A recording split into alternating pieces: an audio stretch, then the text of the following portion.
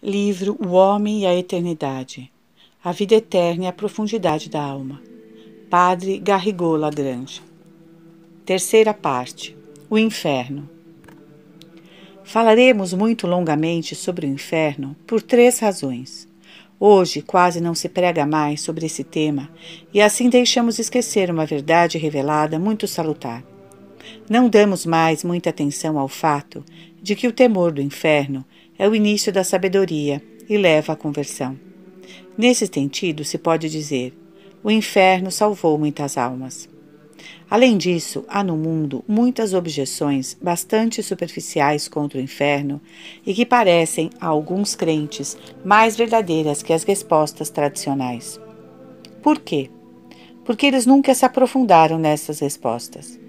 É muito fácil entender uma objeção superficial feita desde um ponto de vista inferior e exterior, e é difícil entender bem uma resposta que visa as profundezas da vida da alma ou a altura sem medida da justiça de Deus.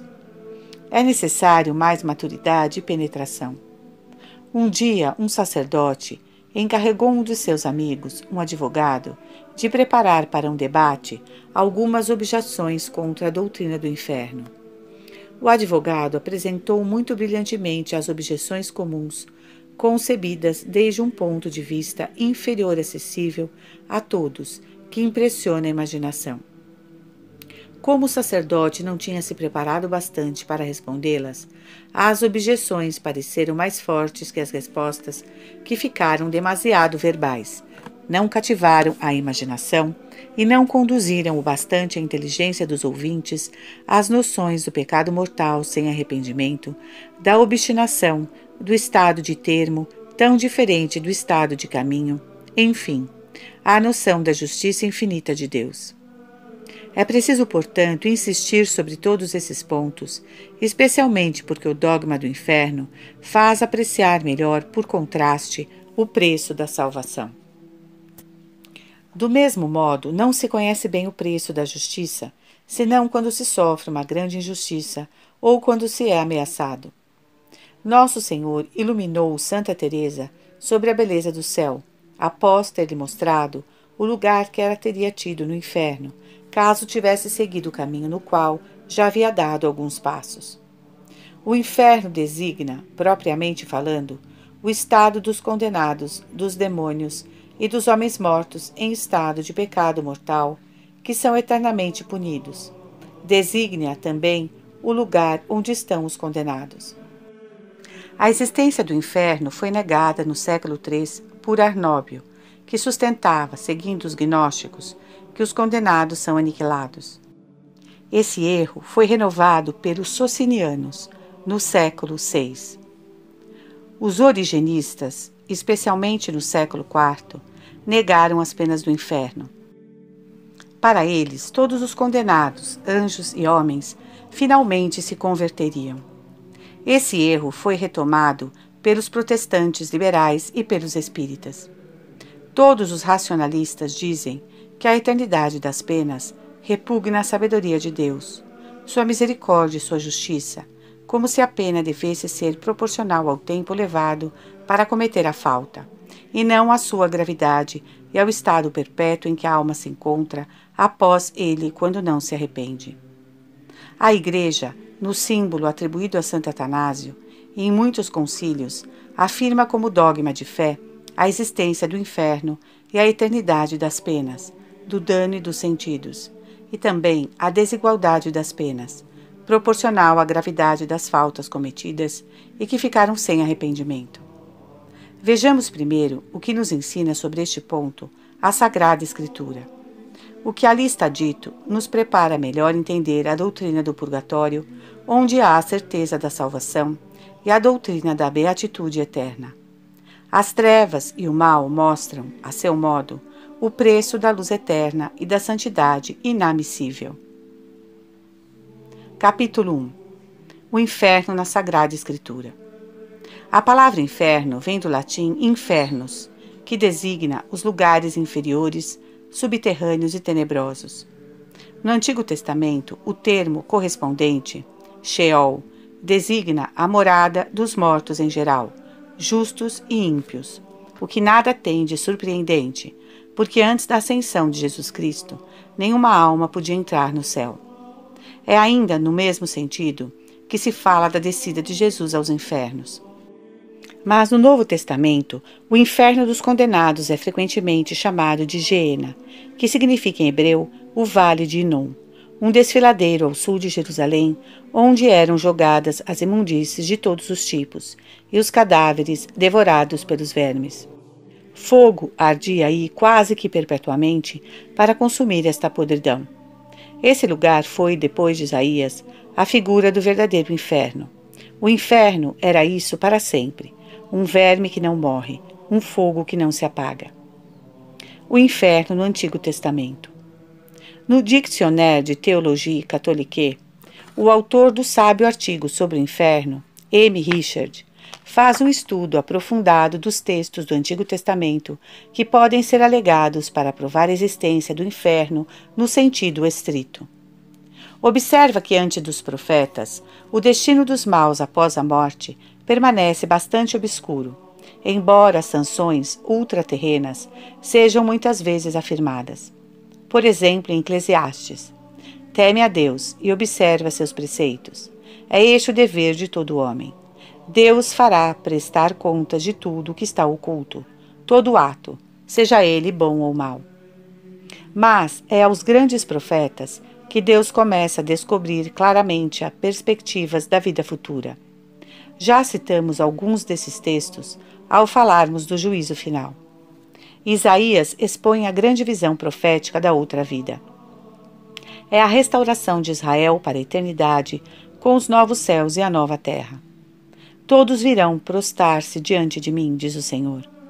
E quando se virarem, poderão ver os cadáveres daqueles que se revoltaram contra mim, porque o verme deles não morrerá e seu fogo não se extinguirá. E para todos será um espetáculo horripilante.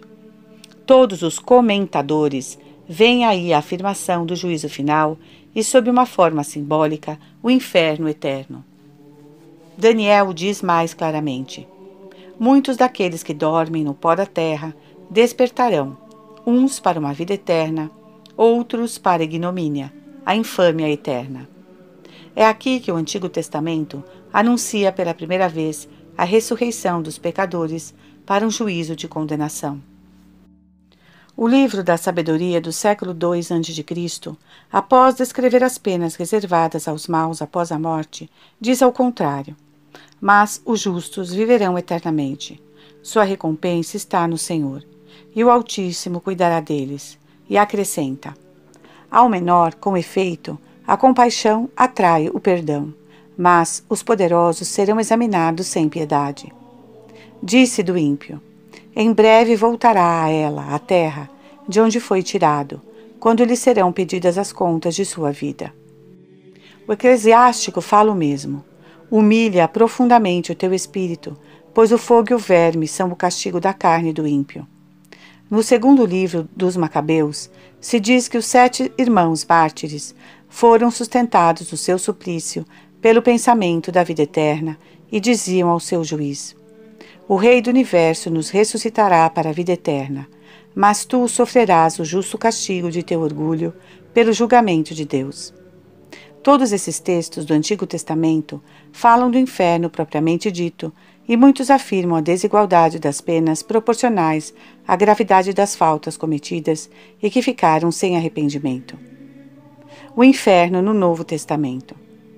Desde o início, para preparar pela penitência a vinda do Salvador, o precursor disse aos mais culpáveis: Raça de víboras, quem vos ensinou a fugir da cólera vindoura? Dai, pois, frutos de verdadeira penitência. Eis que vem outro mais poderoso do que eu. Ele tem a pá na mão e limpará a sua eira, e recolherá o trigo ao seu celeiro, mas queimará as palhas num fogo inextinguível. Jesus anuncia simultaneamente a salvação eterna para os bons e a gena para os maus. Ele o faz, primeiramente, exortando a penitência. Aos escribas que dizem dele: é pelo príncipe dos demônios que ele espelha os demônios, ele responde: Todos os pecados serão perdoados aos filhos dos homens, mesmo as suas blasfêmias. Mas todo o que tiver blasfemado contra o Espírito Santo jamais terá perdão, mas será culpado de um pecado eterno. Em Cafarnaum, após ter admirado a fé do centurião, Jesus anuncia a conversão dos gentios. Enquanto que alguns judeus, infiéis e obstinados, serão lançados nas trevas exteriores, onde haverá choro e ranger de dentes. Essa expressão se encontra até seis vezes em São Mateus, a lemos também em São Lucas. Ele adverte os apóstolos contra o temor do martírio, dizendo-lhes: Não temais aqueles que matam o corpo, mas não podem matar a alma. Temei antes aquele que pode precipitar a alma e o corpo na jena. Toda essa doutrina está resumida em São Marcos. Se a tua mão for para ti ocasião de queda, corta. Melhor te entrares na vida aleijado do que tendo duas mãos ires para a jena, para o fogo inextinguível, onde seu verme não morre e o fogo não se apaga. Esse ensinamento está exposto também nas parábolas do joio, da rede, das núpcias reais, das virgens prudentes e das virgens tolas, e na dos talentos. Do mesmo modo, as maldições dirigidas aos fariseus hipócritas, que perdem as almas. Ai de vós, escribas e fariseus hipócritas! Ai de vós, guias cegos! Sois semelhantes aos sepulcros caiados, por dentro estão cheios de toda espécie de podridão. Serpentes, raça de víboras, como escapareis ao castigo do inferno? Mais claramente ainda, no discurso sobre o fim do mundo e juízo final, Jesus diz: Então o rei dirá aos que estão à direita: Vinde benditos de meu Pai, porque tive fome e me destes de comer. Voltar-se-á em seguida para os da sua esquerda e lhes dirá: Retirai-vos de mim, malditos, ide para o fogo eterno, destinado ao demônio e aos seus anjos. Porque tive fome e não me destes de comer. Tive sede, era peregrino, nu, enfermo, na prisão, e não me visitastes. E estes irão para o castigo eterno, e os justos para a vida eterna. É a última sentença, sem apelo e sem fim. Não se pode dizer que o termo eterno, a propósito do fogo, foi dito somente em sentido lato, porque se opõe à vida eterna, como exige o paralelismo. E todos concordam que a vida eterna é assim chamada no sentido próprio do termo. O Evangelho de São João fala constantemente da oposição entre a vida eterna e a perdição eterna, que é principalmente a privação de Deus. Quem não crê no Filho não verá a vida, mas sobre ele pesa a ira de Deus. Aos fariseus que se obstinam, morrereis no vosso pecado. Para onde eu vou, vós não podeis ir. Todo homem que se entrega ao pecado é seu escravo. Ora, o escravo não fica na casa para sempre, mas o filho sim. Se alguém não permanecer em mim, será lançado fora, como o ramo. Ele secará, e hão de ajuntá-lo e lançá-lo ao fogo, e queimar-se-á. As epístolas de São Paulo anunciam igualmente aos justos a vida eterna e aos que se obstinam no mal o inferno eterno. Aqueles que fazem as obras da carne não entrarão no reino de Deus. Há aqueles que se perdem. Há duas cidades irreconciliáveis, a de Cristo e a de Belial. Há condenados para sempre. Lemos na Epístola aos Hebreus. É horrendo cair nas mãos do Deus vivo. São Pedro anuncia aos falsos profetas que eles vão para a sua perdição eterna. A Epístola de São Tiago ameaça com juízo sem misericórdia aquele que não usa de misericórdia. Os maus ricos sem coração para os pobres acumulam tesouros de cólera para o último dia. Enfim, o Apocalipse opõe à vida eterna de Cristo, na Jerusalém celeste, a condenação de todos aqueles que serão jogados no tanque ardente do fogo e enxofre. Essa condenação eterna é chamada segunda morte. É a privação da vida divina, da visão de Deus, no lugar do suplício eterno, onde serão atormentados pelo fogo todos aqueles que levarem a marca da besta e que serão excluídos do livro da vida. É o que já anunciavam os grandes profetas, em particular Isaías, desde então até o Apocalipse. A revelação do inferno eterno não cessou de esclarecer-se ao mesmo tempo que esclarecia aquela da vida eterna. Encontramos aí a pena do dano, a do fogo, a desigualdade dos castigos e sua eternidade, por causa do pecado mortal sem arrependimento que deixou a alma na revolta habitual e perpétua contra Deus infinitamente bom. Não podemos relatar aqui o testemunho da tradição. Recordemos somente que antes do século III e a controvérsia dos origenistas, os padres ensinavam a existência e a eternidade das penas do inferno. Os mártires diziam frequentemente que não temiam o fogo corporal, mas o fogo eterno. Do século III ao V, a maior parte dos padres combatem o erro de Orígenes e dos origenistas sobre a não eternidade das penas do inferno. Entre eles se deve citar, sobretudo, São Metódio e São Cirilo, São Epifânio, São Basílio, São Crisóstomo, Santo Efrem, São Cipriano, São Jerônimo e especialmente Santo Agostinho. Para todos esses padres, a afirmação da conversão final dos demônios e dos homens condenados é contrária à revelação. Para eles, um demônio convertido é tão impossível quanto um condenado convertido. No século V, a controvérsia acabou pela condenação deste erro de Orígenes no Sínodo de Constantinopla, ano 553, confirmado pelo Papa Virgílio. Os padres citam frequentemente as palavras de Isaías, recordadas por Jesus. O verme deles não morrerá, e seu fogo não se extinguirá. A controvérsia origenista serviu para melhor precisar o sentido das palavras do Evangelho. Fogo eterno, suplício eterno.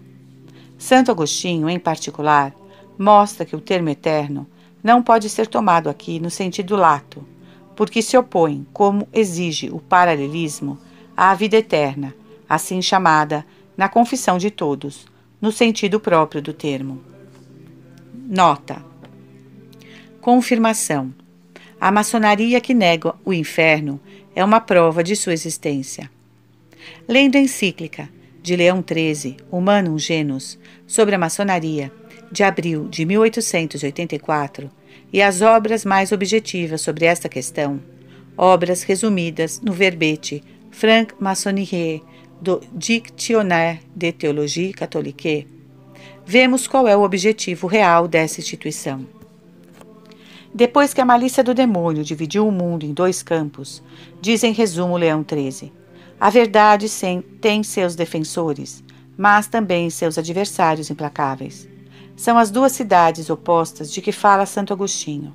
Aquela de Deus, representada pela Igreja de Jesus Cristo, com uma doutrina de salvação eterna, e aquela de Satanás, com sua revolta contínua contra o ensinamento revelado. A luta é perpétua entre esses dois exércitos. Pois do fim do século XVII, data dos inícios da franco-maçonaria, que reuniu todas as sociedades secretas, as seitas maçônicas organizaram uma guerra de extermínio contra Deus e a Igreja. Elas têm como objetivo descristianizar a vida individual, familiar, social, internacional. E para isso, todos os seus membros se veem como irmãos, em toda a superfície do globo. Constituem uma outra igreja, uma associação internacional e secreta. Leão XIII, no fim da mesma encíclica, aponta a maneira com que estas seitas clandestinas se insinuam na confiança dos príncipes sob o pretexto falacioso de proteger sua autoridade contra a dominação da Igreja. Na realidade, é a fim de minar todo o poder, como prova a experiência, porque em seguida, diz o Papa, esses homens enganadores bajulam as multidões, fazendo brilhar a seus olhos uma prosperidade da qual os reis e a igreja seriam os únicos inimigos. Em suma, precipitam as nações no abismo de todos os males, nas agitações revolucionárias e na ruína geral, da qual não lucram, senão alguns ardilosos. Esse objetivo real de descristianização da sociedade foi primeiramente mascarado por um objetivo aparente. A seita se apresentou no início, externamente, como uma sociedade filantrópica e filosófica, mas em seguida, após seus triunfos, tirou a máscara. Ela se glorifica de todas as revoluções que agitaram a Europa, em particular a Revolução Francesa, de todas as leis contra o clero e as ordens religiosas, da laicização das escolas, da retirada do crucifixo dos hospitais e tribunais, da lei do divórcio, de tudo que descristianiza a família e diminui a autoridade do pai, para o substituir pela do Estado ateu. Ela pratica a divisa, dividir para reinar, separar da Igreja os reis e os estados, enfraquecer os estados, separando-os uns dos outros, para dominá-los por um poder oculto internacional, preparar os conflitos de classes, separando os patrões dos operários, enfraquecer e arruinar o amor da pátria. Na família, separar os esposos, tornando o divórcio legal e sempre mais fácil. Separar, enfim, os filhos dos pais, para fazê-los presa da escola chamada neutra, mas ímpia, e do Estado ateu. Ela pretende trabalhar também pelo progresso da civilização, rejeitando toda a revelação divina, toda a autoridade religiosa. Os mistérios e os milagres devem ser banidos do programa científico. O pecado original, os sacramentos, a graça, as orações, os deveres para com Deus são absolutamente rejeitados. Do mesmo modo, a distinção do bem e do mal. O bem é reduzido ao útil, toda obrigação moral desaparece e as sanções da outra vida não existem mais. A autoridade não vem de Deus, mas do povo soberano. Em particular, o ódio de Jesus Cristo reina na maçonaria. A blasfêmia e a imprecação são especialmente reservadas ao seu santo nome. Buscam mesmo hóstias consagradas para profaná-las do modo mais ultrajante. A apostasia é exigida na recepção dos graus elevados. Aos olhos dos iniciados, como aqueles dos hebreus endurecidos, a condenação de Jesus de Nazaré pela autoridade judiciária é perfeitamente justificada e a crucificação legitimada. A Igreja Católica é, portanto, combatida como inimiga. Enfim, a noção de Deus, primeiramente tolerada, é riscada do vocabulário maçônico. A perversidade satânica da obra aparece, enfim, pelo segredo que envolve seus projetos. Os principais objetivos, discutidos nos comitês misteriosos, são absolutamente subtraídos do conhecimento dos profanos e mesmo dos afiliados de categoria menos elevada. Quanto aos iniciados, quando da recepção dos graus superiores, juram nunca revelar os segredos da sociedade. E eles, que se posam como defensores da liberdade, se entregam completamente a um poder oculto que não conhecem e cujos projetos mais ocultos provavelmente não conhecerão nunca. O roubo, a supressão de documentos importantíssimos, o sacrilégio, o assassinato, a violação de todas as leis divinas e humanas poderão lhes ser impostas. Sob pena de morte, deverão executar estas ordens abomináveis. Julga-se a árvore por seus frutos. A raiz dessa árvore má é o ódio a Deus, a Cristo Redentor e a sua Igreja. É, portanto, uma obra satânica que é, à sua maneira, uma prova da existência do inferno, deste inferno que a própria seita pretende negar. Não se deve, portanto, surpreender que a Igreja tenha condenado várias vezes a franco-maçonaria, sobre Clemente XII, Bento XIV, Leão XII, Gregório XVI, Pio IX, Leão XIII. O Santo Ofício, na sua circular de fevereiro de 1871 ao Episcopado, impõe mesmo a obrigação de denunciar os corifeus e os chefes ocultos dessas sociedades perigosas. O esposo deve agir do mesmo modo com relação à sua esposa, o irmão com relação à sua irmã. O bem geral da sociedade requer essa severidade. O motivo dessa decisão do Santo Ofício é fundada nas mentiras a que recorrem as lojas, apresentando ao público nomes falsos. A maçonaria, que é a primeira a negar o inferno, é, portanto, por sua perversidade satânica, uma prova de sua existência. Isso aparece especialmente nas profanações da Eucaristia. São manifestamente inspiradas pelo demônio e supõem sua fé na presença real. Esta fé do demônio, como explica Santo Tomás, não é a fé infusa e salutar com humilde submissão do espírito à autoridade de Deus revelador. É uma fé adquirida que se funda somente na evidência dos milagres, porque o demônio vê bem que são verdadeiros milagres, totalmente distintos dos sortilégios de que ele é o autor. Essas horríveis profanações de hóstias consagradas são, portanto, à sua maneira, uma prova sensível da malícia satânica e, por consequência, do inferno, ao qual Satanás foi condenado. Assim, o próprio demônio confirma o testemunho da Escritura e da tradição que ele gostaria de negar. Além disso, de vez em quando, como na última guerra, aparece um ódio espantoso. Diríamos que o inferno se entreabre debaixo de nossos pés. Isso confirma a revelação. Os crimes dos quais não se arrepende serão punidos com uma pena eterna. Terceira parte: O Inferno. Capítulo 2 Razões teológicas da eternidade das penas. Vimos o progresso da revelação sobre as penas do inferno. Segundo muitos teólogos, é muito provável que só os pecadores inveterados e obstinados nesta vida vão para o inferno, porque o Senhor usa da paciência para conosco e não pune senão com relutância. Convém considerar primeiro a razão das penas ultraterrenas e, em seguida, a razão da eternidade das penas do inferno. Primeiramente, a justiça de Deus exige que os pecados que não foram expiados nesta vida sejam punidos na outra. Como soberano juiz dos vivos e dos mortos, Deus deve, de fato, por si mesmo, dar a cada um segundo suas obras. Isto é afirmado frequentemente na Escritura. Além disso, como soberano legislador, reitor e remunerador da sociedade humana, Deus deve adicionar à sua lei uma sanção eficaz. Santo Tomás mostra bem que quem se insurge injustamente contra a ordem justamente estabelecida deve ser reprimido pelo próprio princípio desta ordem, que vela por sua manutenção. É a extensão para a ordem moral e social da lei natural, da ação e da reação, segundo a qual a ação prejudicial exige a repressão que repare o dano causado.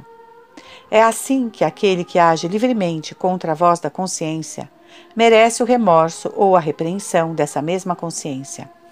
Aquele que age contra a ordem social merece uma pena infligida pelo magistrado, guardião da ordem social. Aquele que age contra a lei divina merece uma pena infligida por Deus, seja nesta vida, seja na outra. Há aí três ordens manifestamente subordinadas. Platão diz em um dos seus mais belos diálogos, Górgias, que a maior desgraça de um criminoso é ficar impune e que, se conhecesse seu verdadeiro bem, viria a dizer aos juízes: Fui eu que cometi este crime, infligi a pena que mereci, para que, pela aceitação voluntária desta pena, eu possa reentrar na ordem da justiça que violei. Essa sublime visão se aplica de fato, de um modo sobrenatural, pela graça divina, ao tribunal da penitência e, em seguida, ao purgatório, onde as almas são felizes por pagar sua dívida à justiça divina e de expiar plenamente suas faltas. Explica-se, portanto, as penas da outra vida. Mas por que a eternidade das penas do inferno? É preciso primeiro observar que essa eternidade das penas dos condenados não pode ser apoditicamente demonstrada. É um mistério revelado, mistério de justiça, que é a consequência de um mistério de iniquidade, o pecado mortal que ficou sem arrependimento. Ora, os mistérios da iniquidade e suas consequências são mais obscuros que os mistérios da graça, porque são os obscuros não somente para nós, mas em si. Os mistérios da graça em si são luminosíssimos e só são obscuros para nós por causa da fragilidade de nosso espírito, semelhante ao olho de um pássaro noturno diante do sol.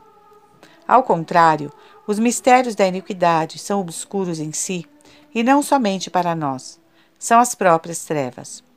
E é especialmente assim a impenitência final, da qual o inferno é a consequência.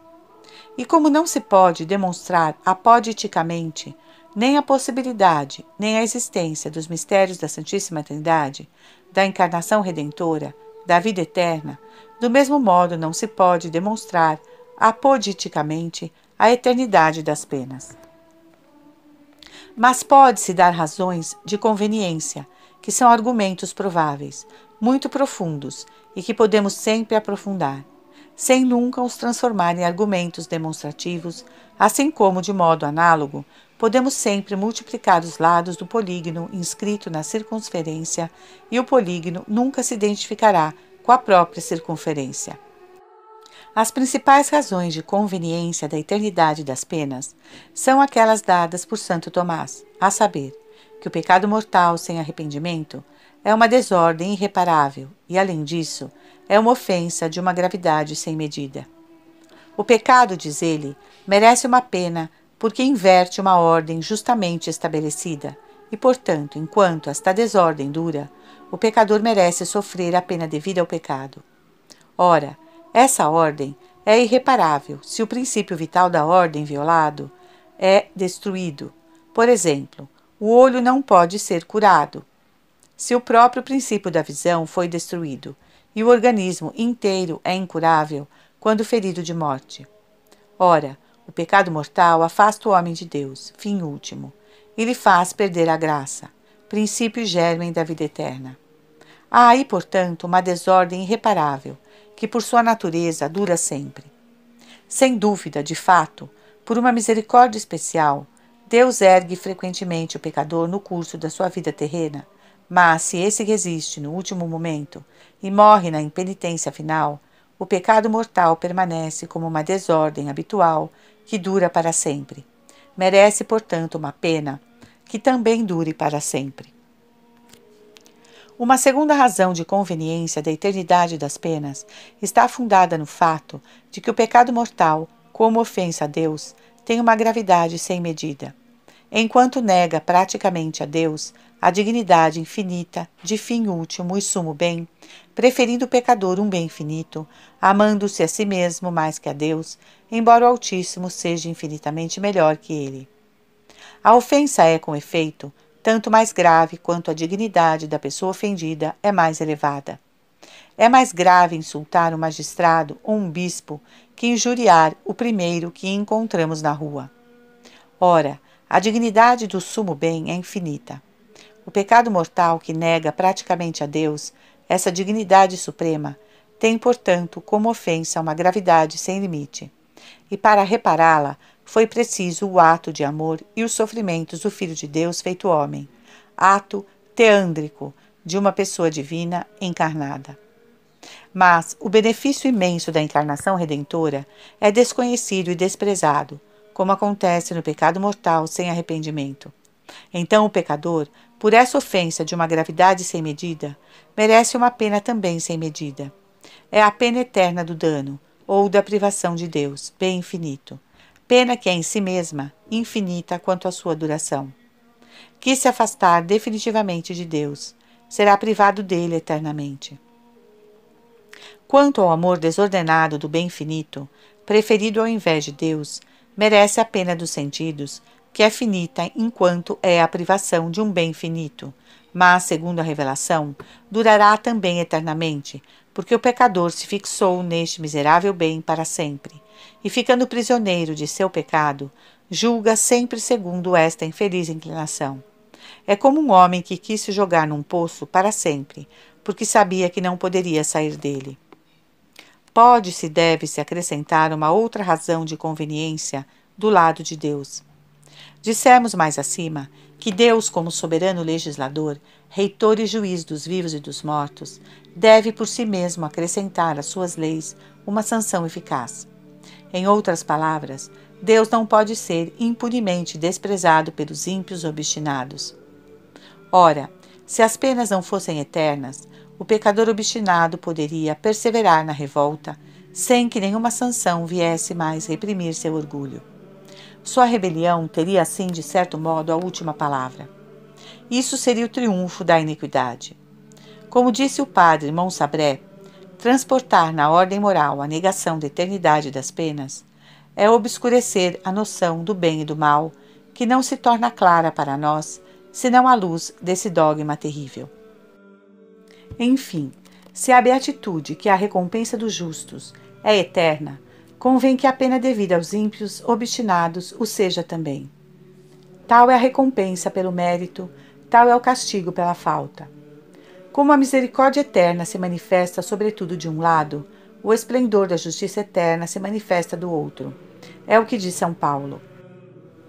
E se Deus, querendo mostrar a sua ira, se tornar manifesto o seu poder, suportou com muita paciência os vasos de ira, preparados por sua culpa para a perdição, a fim de mostrar as riquezas da sua glória sobre os vasos de misericórdia que preparou para a glória, onde está a injustiça? A justiça, como a misericórdia, sendo uma e outra infinitas, exigem para serem manifestadas uma duração sem limites. Tais são as principais razões de conveniência deste dogma revelado. Podemos sempre aprofundá-los. Eles diferem de um argumento provável ordinário, o que pode ser falso. Essas razões de conveniência de um mistério revelado são verdadeiras, mas não apodíticas ou demonstrativas. Tendem sempre para a verdade que inclinam a fazer admitir, mas não a demonstrar. Assim, o polígono inscrito na circunferência, quando se multiplica seus lados, tende sempre a se identificar com a circunferência, mas não se identifica nunca com ela. Bem como a graça suficiente que está o poder máximo de praticar um ato salutar se aproxima sempre da graça eficaz que leva a praticar esse ato, mas não se identifica nunca com ela. Assim também na terra a certeza da esperança, que é uma certeza de tendência, se aproxima sempre da certeza da salvação, mas não se identifica nunca com ela, salvo em caso de revelação especial na terra e salvo na segurança dada pelo juízo particular às almas do purgatório. Vemos pela precisão destes termos os diversos mistérios que a teologia é uma verdadeira ciência. Além disso, em outras partes, alcança conclusões certas, mas não chega ainda a evidência nas suas conclusões. E por que não? Porque o teólogo não tem ainda aqui na Terra a evidência dos princípios da teologia, que são artigos de fé. Também sua ciência é subordinada àquela de Deus e dos bem-aventurados, como a ótica é subordinada à geometria, diz Santo Tomás. Mas no céu, o teólogo, vendo a Deus face a face, terá evidência dos princípios da teologia e, consequentemente, evidência de certas conclusões dessa ciência, como aquele que não conhecia até então, senão a ótica ou perspectiva, e que adquire o conhecimento da geometria. Adquire desta forma evidência das conclusões da ótica, que até então permaneciam obscuras para ele. A teologia é assim, uma verdadeira ciência mas nesta vida permanece num estado imperfeito. Só terá seu estado perfeito no céu. Parte 3 O Inferno, capítulo 3 A eternidade das penas não se opõe a nenhuma perfeição divina. Frequentemente se objeta que esta perpetuidade dos castigos divinos se opõe à perfeição da justiça divina, porque a pena deve ser proporcional à falta. Ora, Frequentemente a falta não dura senão um momento. Como mereceria uma pena eterna? Além disso, todas estas penas, pelos pecados mais diferentes, seriam iguais, porque todas seriam eternas. Enfim, a dor da pena seria muito maior que a alegria encontrada no pecado. Santo Tomás responde: A pena deve ser proporcional não à duração do pecado atual, mas à sua gravidade. Assim, segundo a justiça humana, o assassinato, que não dura senão alguns minutos, merece a pena de morte ou a prisão perpétua. Do mesmo modo, aquele que trai, num momento, sua pátria, merece ser dela excluído para sempre. Ora, conforme vimos, o pecado mortal, como ofensa a Deus, tem uma gravidade sem medida. Além disso, quando o pecado atual cessou, o pecado habitual permanece como uma desordem habitual e reparável e que merece uma pena sem fim. No entanto, há uma grande desigualdade no rigor das penas eternas. Iguais pela duração, são muito desiguais pela dureza proporcional à gravidade das faltas a expiar. Enfim, se as penas do inferno causam mais sofrimento do que a alegria dada pelo pecado mortal, no entanto, não são mais dolorosas do que a ofensa do pecado mortal a Deus, porque a gravidade desta ofensa é sem medida. O princípio permanece o mesmo. A pena é proporcional à gravidade da falta. não ao prazer maior ou menor que nela se encontra. Assim, alguns sustentaram. Mas, se o que diz a revelação interpretada pela Igreja é verdadeiro, deve-se ir mais longe e afirmar que a justiça divina exigiria antes a destruição total ou aniquilação dos condenados, porque por sua ingratidão mereceram a perda do benefício da existência. Deve-se responder primeiro que a revelação divina, única que pode aqui nos iluminar, não nos diz que os condenados são aniquilados, mas que são eternamente punidos. Além disso, Deus, que pelo poder absoluto lhe poderia aniquilar, conserva as almas espirituais, que por sua natureza são incorruptíveis, e a revelação anuncia mesmo a ressurreição geral dos corpos.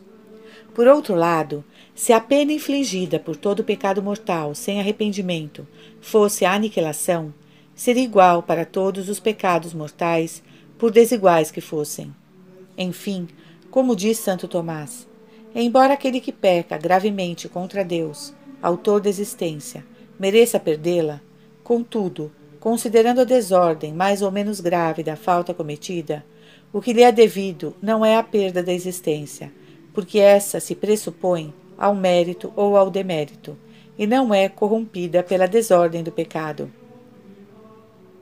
Acrescentemos o que diz admiravelmente o padre Lacordaire.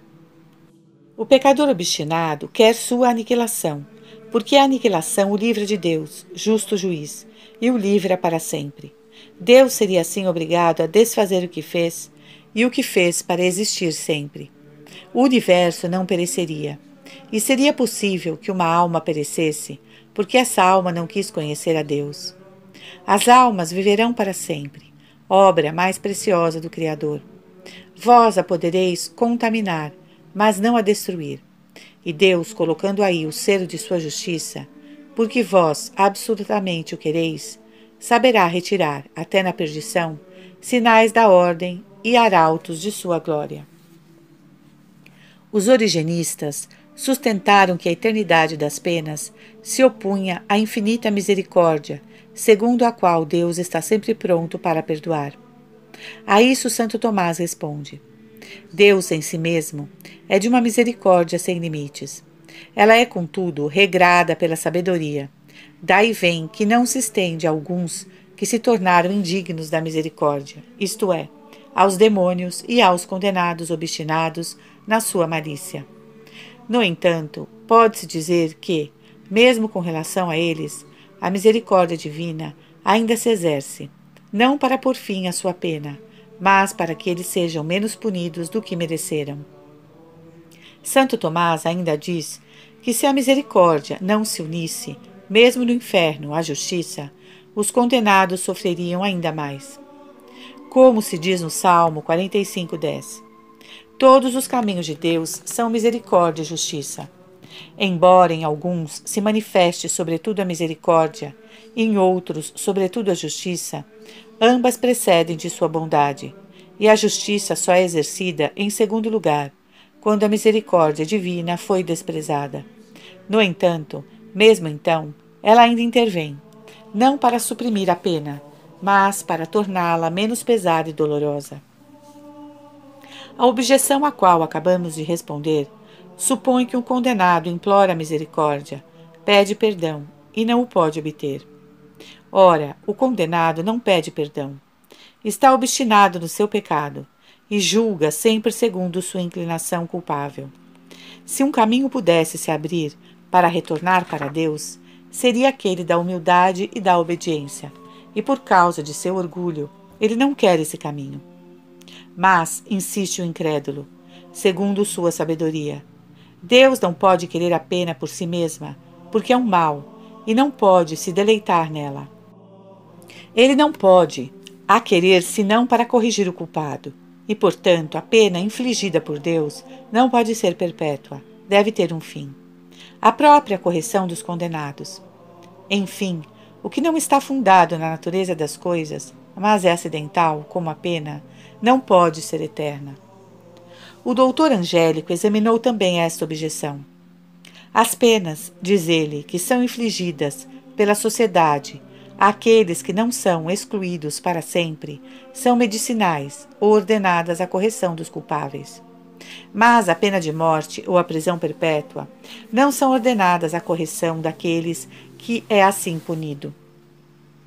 São, portanto, medicinais para os outros, porque o temor destes castigos afasta do crime e dão paz às pessoas de bem. Do mesmo modo, a danação eterna dos ímpios é útil para a correção daqueles que estão na igreja. É nesse sentido que dissemos que o inferno salvou muitas almas, isto é, o temor do inferno foi o início da sabedoria. Insistem em dizer: o que não é fundado na natureza das coisas, mas é acidental, como uma pena, que contraria a natureza, não pode ser eterna. O santo doutor responde: Embora a pena seja acidental com relação à natureza da alma, no entanto, corresponde em si à alma manchada pelo pecado mortal sem arrependimento. E como esse pecado dura para sempre, como desordem habitual, a pena que lhe é devida também dura para sempre. Além disso, como diz ainda Santo Tomás, as penas eternas são úteis para manifestar os direitos imprescritíveis de Deus a ser amado acima de tudo, para fazer conhecer o esplendor da infinita justiça. Deus, que é bom e misericordioso, não se compraz nos sofrimentos dos condenados, mas na sua infinita bondade, que merece ser preferida a todo bem criado e os eleitos contemplam o esplendor da Justiça Suprema, agradecendo a Deus por tê-los salvado. É o que diz São Paulo neste texto já citado, Romanos 9, 22. Se Deus, para mostrar a sua ira ou sua justiça vingativa e manifestar o seu poder, suporta ou permite com muita paciência os vasos de ira preparados para a perdição, mostrando as riquezas de sua glória para os vasos da misericórdia, que de antemão preparou para a glória, onde está a injustiça? Deus ama acima de tudo sua infinita bondade. Ora, esta infinita bondade, na medida que é essencialmente comunicativa, é o princípio da misericórdia. E na medida que tem um direito imprescritível a ser amada acima de tudo, é o princípio da justiça. Nesse sentido, Dante escreveu sobre a porta do inferno. Por mim se vai a cidade dolente. Por mim se vai a sempiterna dor. Por mim se vai entre a perdida gente. Moveu justiça o meu eterno autor. Fez-me a divina potestade, mais a suma sabedoria e o supremo amor. O padre Lacordaire diz sobre isso. Se só fosse a justiça que tivesse cavado o abismo, haveria um remédio, mas foi também o amor. Foi o primeiro amor que o fez. Eis o que tira toda esperança. Quando se é condenado pela justiça, se pode recorrer ao amor. Mas quando se é condenado pelo amor, a quem devemos recorrer? Tal é a sorte dos condenados. O amor que deu seu sangue por eles foi esse mesmo amor que os maldisse. Que coisa! Um Deus que veio à terra por vós, tomou vossa natureza, falou vossa língua, curou vossas feridas, ressuscitou vossos mortos, morreu enfim por vós numa cruz. E após isso pensais que vos será permitido blasfemar e rir? Ir sem medo às núpcias de toda volúpia? Não, desenganai-vos. O amor não é um jogo. Não se é impunemente amado por um Deus. Não se é impunemente amado até o patíbulo. Não é a justiça que é sem misericórdia, mas o amor. O amor, como experimentamos muitas vezes, é vida ou morte. E se se trata do amor de um Deus, é vida eterna ou morte eterna.